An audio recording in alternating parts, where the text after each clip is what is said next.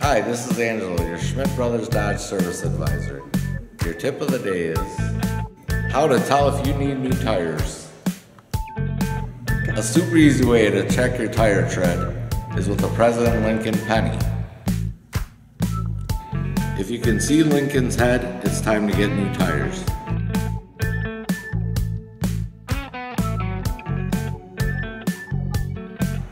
So if you need new tires, stop on down at Schmit Brothers Dodge Service and see Angelo.